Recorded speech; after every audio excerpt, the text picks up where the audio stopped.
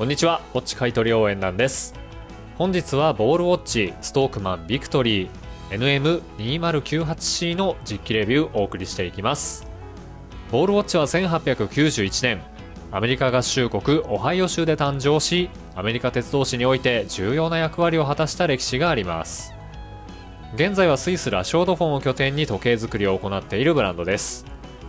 今回ご紹介するモデルシンプルなデザインを基調としたストークマンビクトリー。ボールウォッチらしい堅牢な実用時計です。対衝撃性対峙性視認性と日常使いはもちろんタフな現場でも使用可能な頼もしい機械式時計。堅牢な作りそして使いやすいデザインにぜひ注目してご覧ください。ウォッチ買取応援団では時計にまつわる動画を日々お届けしております。チャンネルの再生リストにまとまっていますのでそちらもぜひお楽しみいただければ幸いです。よろしければチャンネル登録そしてグッドボタン押していってください。やる気が出ます。では早速機能面から見ていきます。基本機能は時分秒のセンター三振。4時半位置の小窓には日付表示。搭載されるムーブメントはキャリバー WR1103 スイスの機械メーカーエタ製の汎用機28系を改良したもので非常に高い信頼性を誇ります。ちなみにキャリバーの冠名 WR とはレイルロードの略とのこと。WR はロゴにも使用されておりアメリカ鉄道史とともに発展したブランドであるということを強く感じさせてくれます。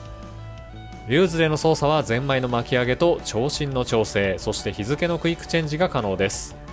リューズを引くと秒針が止まるハック機能があり秒単位での時刻合わせが可能になっています。振動数は毎時28,800パワーリザーブは約38時間。防水性能は 100m です。続いて外装デザイン。ケースサイズは 40mm 径 11.5mm 厚ケース素材はステンレススチール製です。100m 防水という性能を感じさせない薄さですね。裏蓋も同様にステンレススチール製です。膨らみは少なくフラットな形状。夜間走行中の蒸気機関車が描かれておりまるで記念コインのようなデザインです。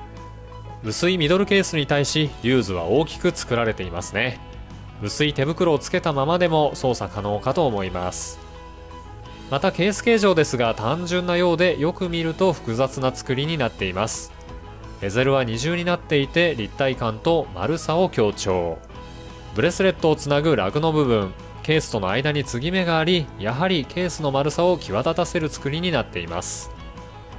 ベルトもケース同様にステンレススチール製。ヘアライン仕上げのコマをポリッシュ仕上げのコマでつなぐという構造。コマは楕円形なので肌に触れる面積が少なく夏でも快適につけることができます。バックルは両開きタイプ。ここにも WR のロゴがありますね。風防はサファイアクリスタル製。反射防止処理が施されているため日差しが強い日中でも高い視認性が確保されています。文字盤デザインは全部で9種類が展開されています。こちらはマット仕上げのブラックです。この他三例加工のものやクルドパリ装飾のものもあります。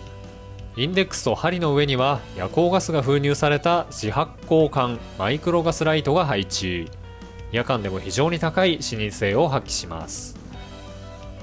蒸気機関車の顔を連想させるような丸顔ですね。マットな黒が硬派でかっこいい。ベゼルが薄くケース径ギリギリまで文字盤があるのでサイズ数値よりも大きく見えますね。読みやすく存在感のある時計だと思います。径も厚みも程よくデザインはシンプルなので毎日の仕事用の時計として重宝すること間違いなし。対衝撃性も有しており 1m の自由落下相当の衝撃にも耐えうる構造です。万が一の際にも安心ですね。またこの距離から見ても大体の時間が読めてしまうほどの視認性の高さ。これには驚きです。見やすく使いやすく正確で丈夫。実用性能に特化した作り好感が持てます。以上本日はボールウォッチストークマンビクトリー NM2098C のご紹介でした。ボールウォッチは価格も魅力ですよね。このモデルの定価は税抜きで14万円。ここまでのスペックでこの価格設定は本当にすごいと思います。それではまた次の動画でお会いしましょう。今回の動画いかがでしたでしょうか？最後までご視聴いただきありがとうございました。毎日更新を目指して頑張っていますので次回も楽しみにしていてください。よろしければチャンネル登録そしてグッドボタン押していってください。それから Twitter もやってますので Twitter のフォローもお願いいたします。それではまた次の動画でお会いしましょう。